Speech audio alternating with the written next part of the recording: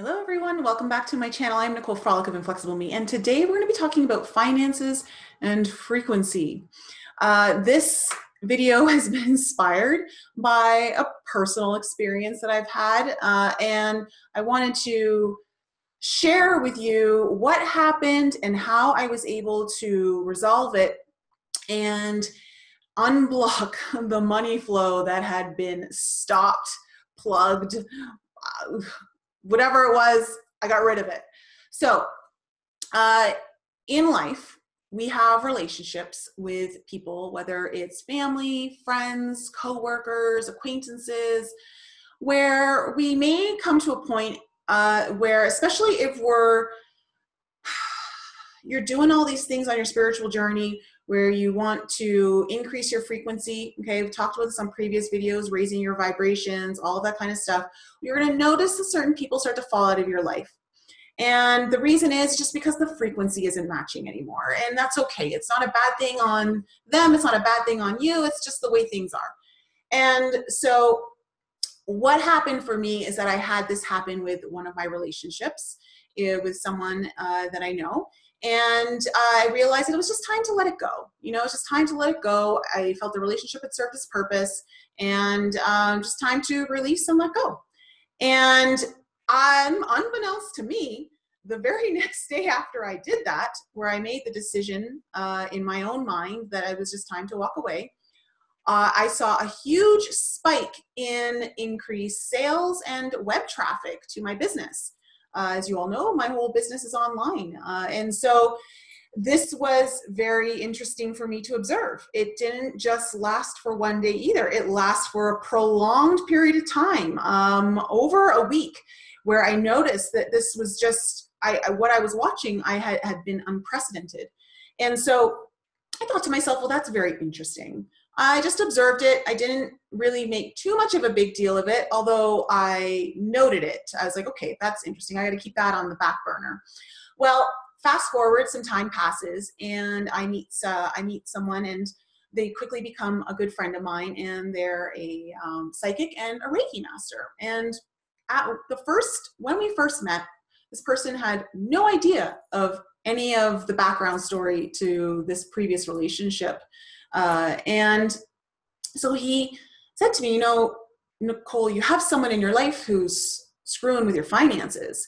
And I said, oh, and I instantly thought of this person back, you know, some time where I noticed that um, that correlation.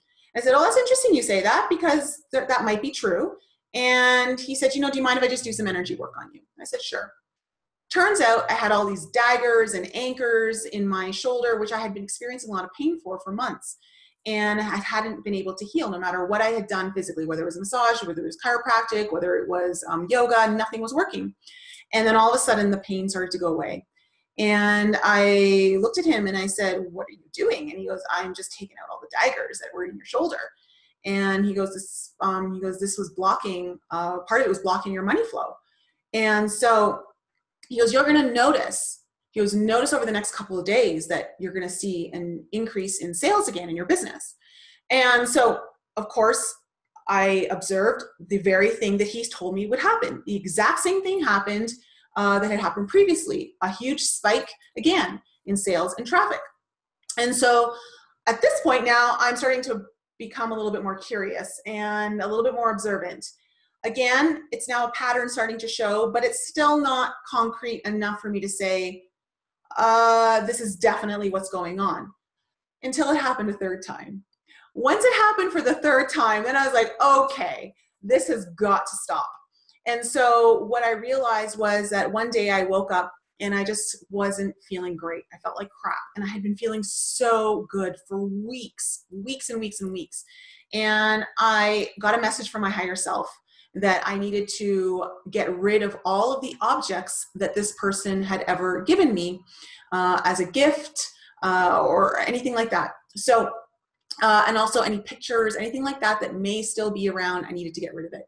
And so I did. So I did a huge cleanse and clearing where um, whether it was uh, cards or letters or anything like that, burning, photos, uh, cleansing and clearing energies, throwing it away, or giving it away if I felt like it could be given away.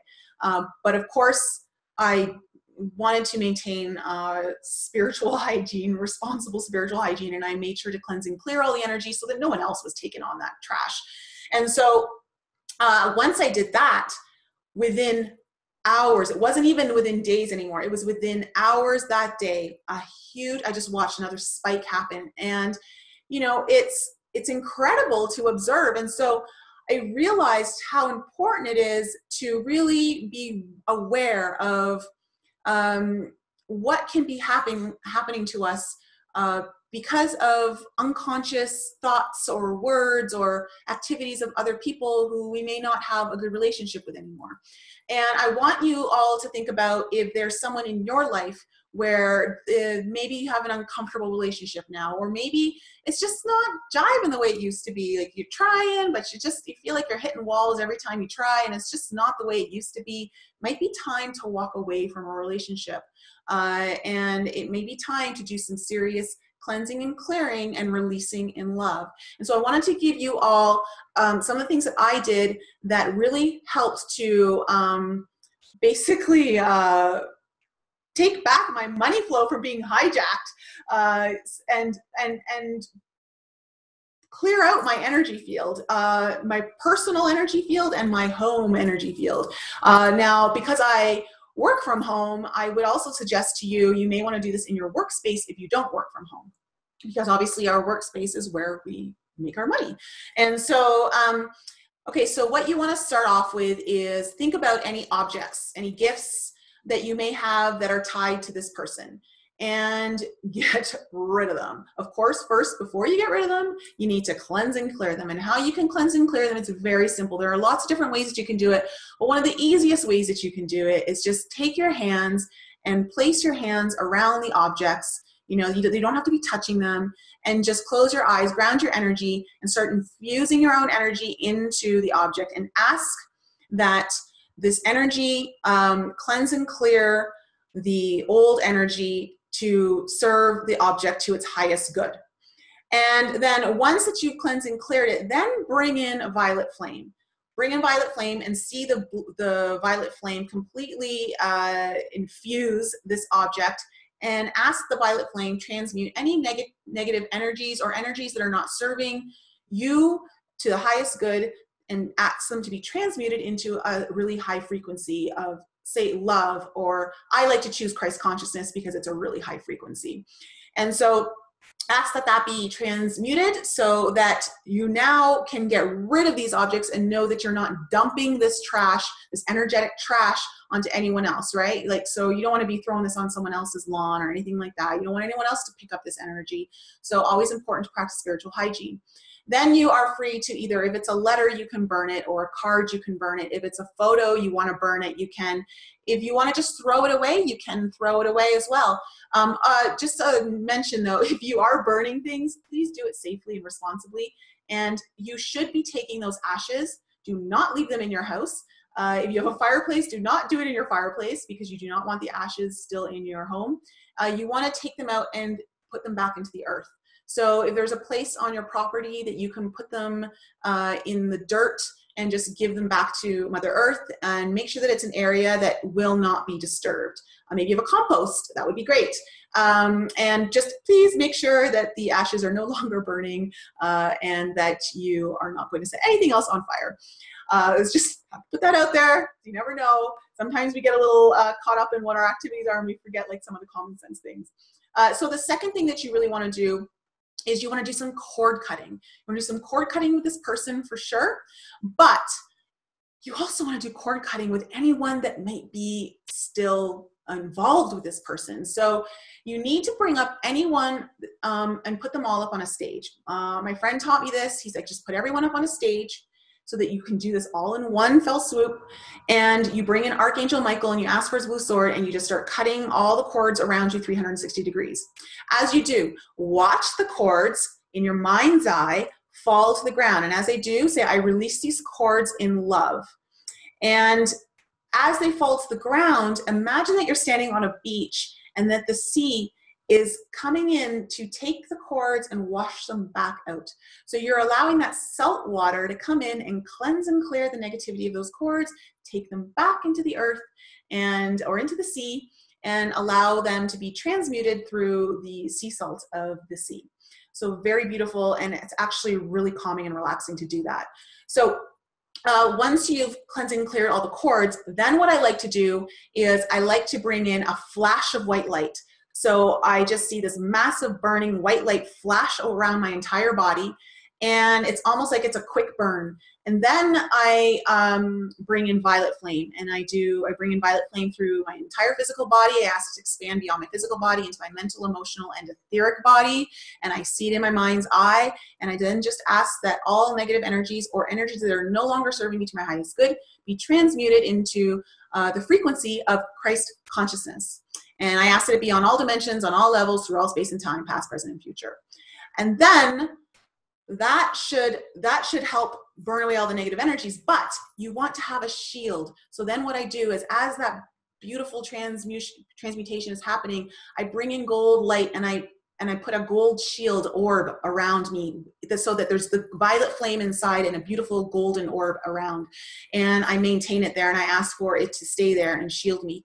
And so this is very beneficial. This helped me tremendously. Now, I also mentioned that I had some um, help from a friend who was a Reiki master, I would also uh, recommend that if you feel like these attacks are beyond something that you can do on your own, go in search of someone uh, who does Reiki and can help assist you in clearing those energies and cords and maybe assist you in where they may be in your body.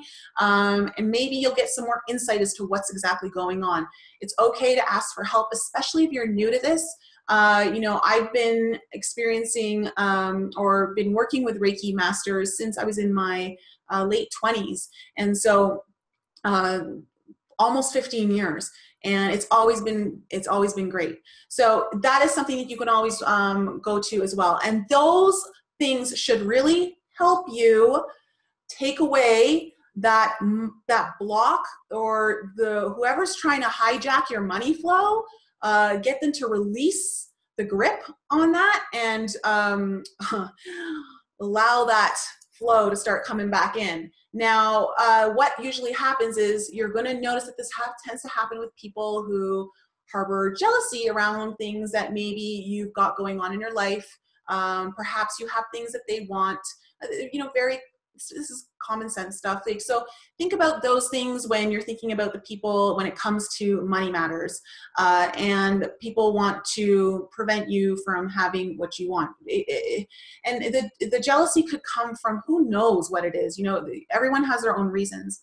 Again also strong caveat here please also note that oftentimes when this is being done to you it is being done unconsciously. These people are not sitting there with a voodoo doll, although that can happen, but likely the person is not sitting there with a voodoo doll and trying to purposely stop your money flow. It's just a result of these emotions and um, fueled by lots of anger, resentment, jealousy, and all the thoughts and maybe the words that are being spoken about you that fuel all of that.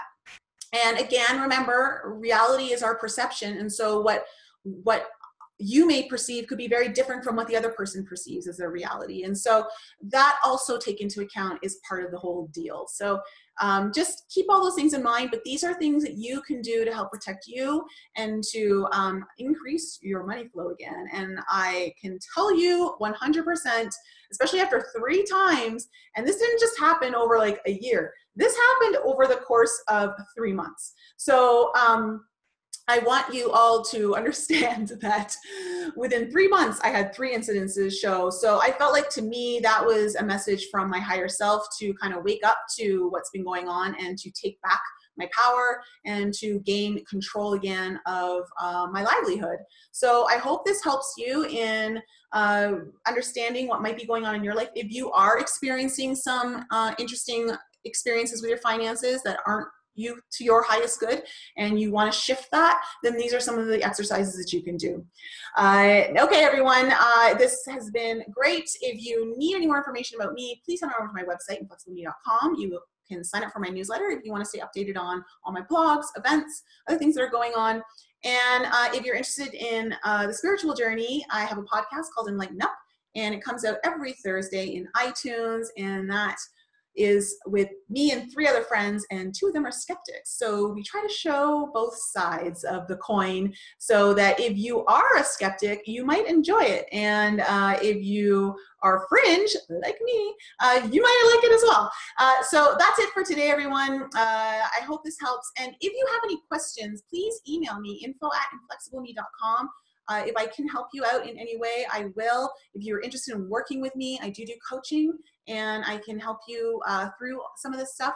And um, I also have a course on protection that I'll leave a link for in the description below if you're interested in that. All right, everyone, have a great week. Uh, keep your protection strong, keep your light bright, and I will see you next time.